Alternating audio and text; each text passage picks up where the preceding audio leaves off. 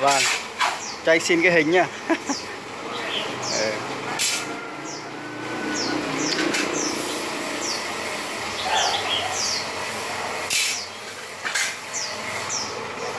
nhiều công đoạn nhiều công đoạn mới ra được con dao, đúng không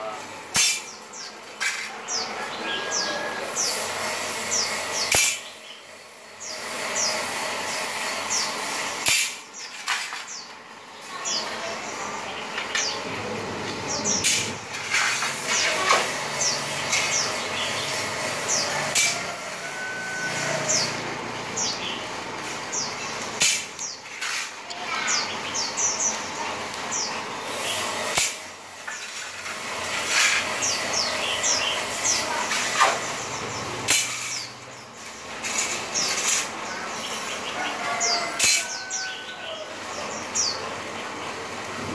you.